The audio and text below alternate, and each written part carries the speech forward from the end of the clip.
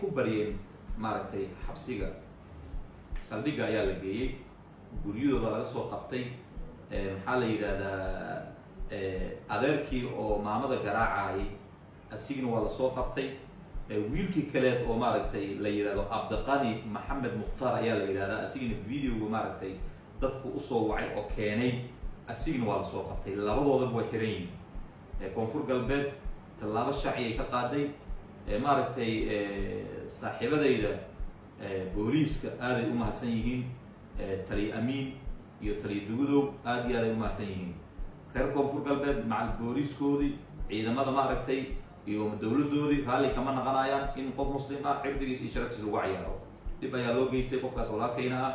Markuu uu codsanayay abtinimo wax ku codsanaya abtinimada ka soko annaga qofka abti haddaan u nahay iyo haddaanan u ahaynba cidnama kama aqbalayno qof in maaragtay deegaanadan qof asigoo joogo in dad uu ka dhibaatayo dhibaato u geysto raalli kuma naqanayno maxaa yeeley haddii raalli aad ka naqatid waxaa weeyaan adigna dhaalimiinta ayaad ka mid tahay unsur akhaaka dhaaliman ow madluuman qofka hadduu dhaalim yahay ummadda waa in laga qabto diinta islaamka ayaa na amraysa marka soomaalinimada ayaa na amrayso diinteyna ayaa na amrayso in qofkii dhibaato loo geysto in wax laga qabto ciidamada marka booliiska aaday u mahadsan yihiin taliyaasha aaday u mahadsan yihiin? Cabashadii uu cabanayay ninkii ahaa axmed khayr waxbaa laga qabtay. Waxbaa laga qabtay. Waxaad arkayseen in ilyas wasiirka warfaafinta ee koonfur galbeed in uu yiri raggii waan soo qaqabanay waan soo xirxirnay. Waxaan maanta halkan idinkula wadaagnay inaan reer koonfur galbeed ah oo garnaqsanaya kana hadlayay axmed beef in isaga uu khaldan yahay? Waa sax. Taa iyade waa la ogyahay. Laakiin waxaa jira dulmi badan oo isaga laftiisa lagu waday. Dulmigina qaab u xaliyo mataqaana uu garan waayo. Arrinta markay ugu cusubtahay xaajadana nin aan xaajo garin waxaa la indhahu ka ridaa. Il buu ka ridaa. Oo loola jeedo. Dee meeshii loogu talagal meel aan ahayn buu la aadayaa. Koonfur galbeed waxaan dhihi karnaa waa maamulka curdunka ah ugu dhega nugul maamulada annaga maamul waxaa jiray aan intaasoo sane aan ka qaylin war naga qabtaay war dhib buu sameynayaaye warkan buu nagu hayaa wax kaa dhegeysanaya ma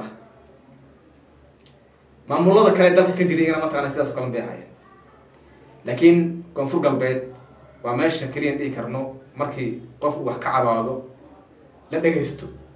Horta bal qofkan wuxuu ka cabaadayo horta waa la dhegeystaa. Markaad dhegeysato kadib yaa wax ka dhihi kartaa qofkan haddii la dhegeysta sidiisaba xataa hadduu xumaan wada u iska dayn. Laakiin haddii dheg jarag loo siin waayo xumaanta way sii fogaan ilaa ay heer ay gaarta marka in de maamulka lagu kala yaaco oo dhibaato ka dhacdo sida hadda maamullo qaar un ogna dalka ka jira waddada ay ku socdaan ay u dambeyn doonto inay burburaan. Taasi ka hadli maanta waxaan dul istaagaynaa. Maamulka koonfur galbeed markii u horreysay. Waxay ka dhawaajiyeen in qayladhaantii ka soo yeedhay ninkii ahaa axmed khayr ex fanaan axmed beef inay qaateen oo ay dhaheen madaxweyne golaha wasiirada iyo xubnaha baarlamanka koonfur galbeed. Dhammaan dhibaatadii loo geystay iyo dulmigii loo geystay axmed khayr waynu ka xunnahay. Wayna ka xunnahayna kumaysan ekeenine markiiba tillaabay qaadeen tillaabadii xaggay ka bilaabeen kow waxay ka soo bilaabeen wiilashii soo duway muuqaalada waayo waxay ku xadgudbeen iyaga laftooda oo ay ku noqdeen xadgudub inay sameeyeen self attack oo qof ay si gooni ah oo bareer ah ay u beegsadeen. Kadib markay wiilashii ay qabteen yaa laga cabanayay. Dee odayga adeerkii baa laga cabanayay dhibaatada markaan asna qeyb ka aha oo mamada hataa yidhi halaga duubo. Isagana hala soo qabto ay qabteen. Yaa ku xigay isaga abtigii asna ka mid ahaa dadkii mataqana dhibaatada geysanay asna waa lagu riday hadda yaa soo haray marka isaga hooyadii iyo caruurtii baa soo hadhay meesha joogto. Waxaa hadda laga sugayaa marka axmed in isaga uu imaado reer koonfur galbeed iyo isaga inay wada fadhiistaan reabtigi iyo isaga inay wada fadhiistaan isla markaasina wadda cad lagu kala baxo oo soo noqosho lahayn kama dhigno duqa in la dhahay gabadha maamada fur. Waa khalad diinteena ma ogolo laakiin waxyaabaha uu sameynayo waa in meel laga saara oo ah in hooyadan haddii asaga uusan biilan karin uu axmed biilkeedii waxeedii asaga uu kafaalo qaado. Laakiin uusan ku soo xadgudbi karin guriga intuu imaado cuntada ka cuno iskaga tago. Meeshuu meeshuu raba u doonto wuxuu cunay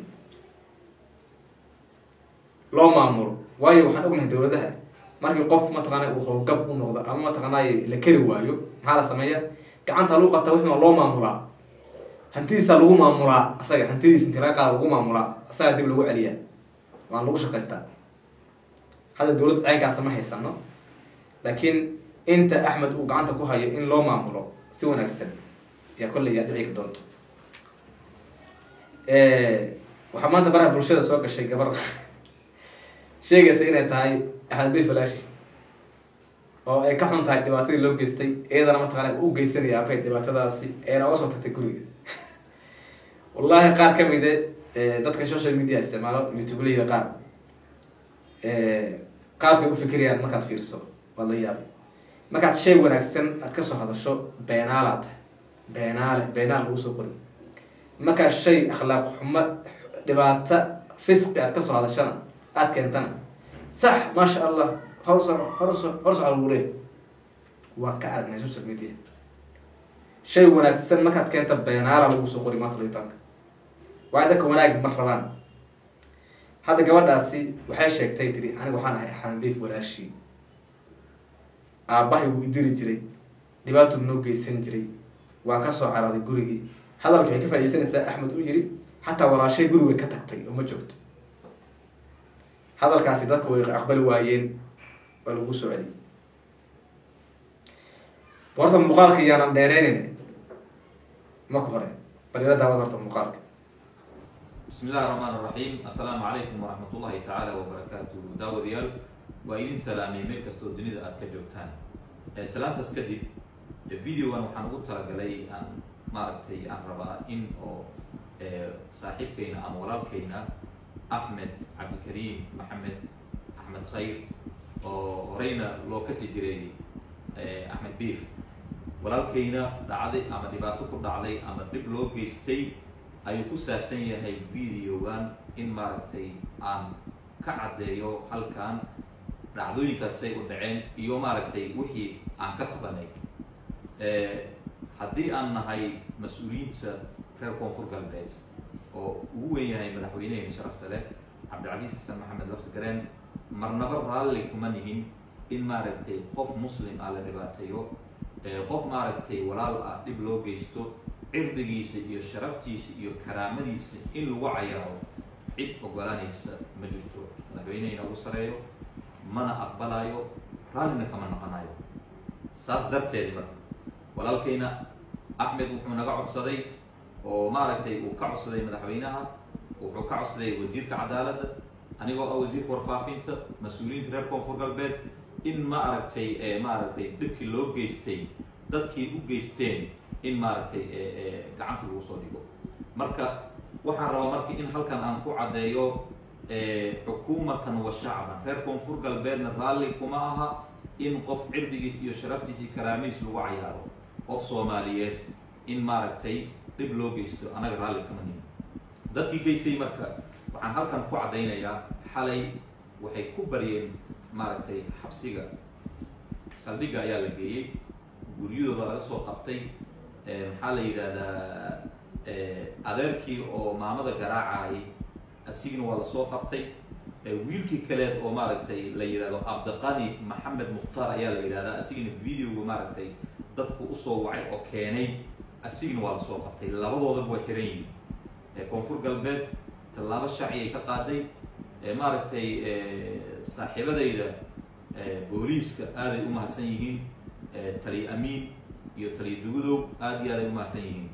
Reer koonfur galbeed macal booliiskoodii ciidamada maaragtay iyo dawladoodii raalli kama naqanayaan in qof muslim ah cirdigiis iyo sharaftiisa lagu cayaaro dhib ayaa loo geystay qofkaas walaalkayna ah markuu uu codsanayay abtinimo wax ku codsanaya abtinimada ka soko annaga qofka abti haddaan u nahay iyo haddaanan u ahaynba cidnama kama aqbalayno qof in maaragtay deegaanadan qof asigoo joogo in dad uu ka dhibaatayo dhibaato u geysto raalli kuma naqanayno.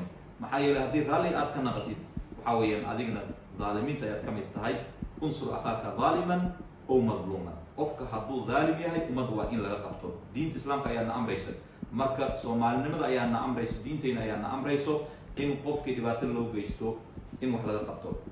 Ciidamada marka booliiska aaday u maasan yihiin taliyaasha aaday u maasan yihiin tali amiinka tali dugudo aaday u maasan yihiin dadka ay soo qabteen xabsiga la geeyey way ku maasan yihiin. Waxaa kale noo dhiman dadkii soo duubay t v-gii ama maaragtay beejkii lagu fa lagu baahiyey arrintaasi oo ay ahaayeen ayagana gaarsiya t v ayagana maaragtay cabdimajiid wiil la yidhaahda ayaa asigana mas'uulka ah waa la hadlay asigana saldhigga hadda inuu taga ayaan maaragtay telefonka aan u garaacay aan telefonkiis markii la siiyey saldhigga lagaa rabaan dhahay marka dadkaasna waa lala xisaabtami doonaa waxaa kaloo rabaa halkan inaan ku caddeeyo baraha bulshada. Ama maaragtay miidiyaha ama t v ha noqdo ama maaragtay facebook ha noqdo dadka isticmaalo waxaan u sheegayaa qofka maaragtay bini aadinka ah muslimka ah cirdigiisa iyo sharaftiisa iyo karaamadiisa laguma xadgudbi karaa haddii qofku weri uu yahay ama saxaafaddu wax ka yaqaano waxaa weeyaan shuruucda wuu yaqaana. Personal attack qof muslim ah haddana adigoo haddana weli muslimnima aad sheeganayso soomaalina aad tahay.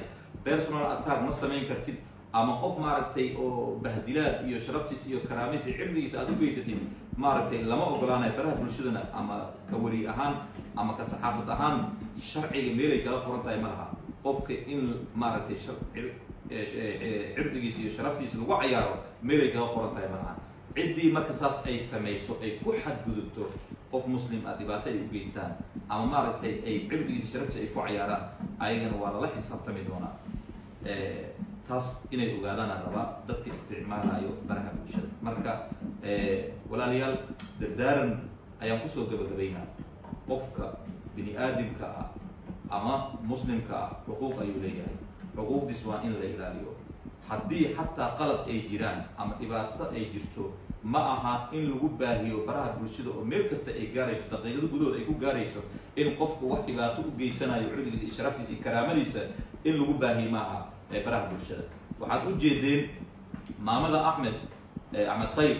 Hooyadiisa ninka asigoo la taagan uu dharbaaxayo uu garaacayo abiyuus ayuu ku samaynaya waxaas maaragtay lama ogolo diinta islaamkana ma ogolo abiyuusnimo in lagu sameeyo qof oo maaragtay la dharbaaxo oo la dilo oo dumar ah maskiin ah waayeel ah maaragtay aaday u foolxun tahay ninkii waxaas ku fiirsanayay oo soo duubay haddana sii gudbinayo ama sii faafinayo asigana qayb ayuu ka yahay dulmiga oo la samaynayo marka waxaas cid maaragtay kaasi wuxuu ahaa wasiirka warfaafinta koonfur galbeed elias aada u mahadsan yahay. Waa ninkii aad garanayseen qaarihii mataqaana dadka qur'aanka ka sixi jiray universal t v haddana ah wasiir koonfur galbeed shaqooyin badan ka soo qabtay ahna agaasimaha t v-ga laftiisa soo maray marka nin mataqaanay waxyaala fara badan caalamka ka soo arkay ingiriiska nin badan ku noolaa garanayana mataqana qofka dhibaatada haysata waana loo baahan yahay qof mataqaanay saas oo kale bulshada u fahmi karaa in xil loo dhiibo waayo qof markii xilka loo dhiibo aqoon uu uleeyahay uu ka soo bixi. Laakiin qofka markii loo dhiibo xil uusan weligii uusan arkin suurtagal maaha in xilkaas uu ka soo baxo. Calaa kulli xaal hadda arrintii maanta waxay u fadhidaa in axmed khayr iyo dadkiisii in la wada hadalsiiyo laga wana hadlo laga wada hadlo jihada xigta ee hadda loo guurayo. Dhibaato way soo dhacday rafaad iyo qaxar iyo dhib baa la soo maray. Horey waxaan u sheegay amaba mataqana qur'aanka inoogu cad qof waxaa dadka bini aadanka shay waxaa jira marka uu ku dhaco uu u arkay dhibaato laakiin khayr u ah shay uu khayr u arkay marka iyada laakiin dhibaato u ah baa jirta. Axmed khayr markii muuqaalkan u horreysay wadi la soo duubay aada buu ooyey iyo kii ku-xigay waayo dhibaato badan buu arkay. Muusan ka fiirin dhanka khayrka. Lacalahu khayr aduu dhila matala khayr bay intaa laga yaabaa xataa waxay noqon laakiin ilahay khayr ba oga dhigay. Oo loola jeedo dhibkii intaasoo sana soo xamili lahaa in markuu cawday kadib laga jawaabay. Taasna ay keentay dhibkii farada badnaa inuu ka degay maanta. Arrintan kolley inay halkaa ku soo gabagaboy doonta malaynaynaa ilahay mataqaana wadda khayr qabaa ku soo gabagabeeyo. Admaasinta muuqaalka shargareeya asxaabtinina la wadaaga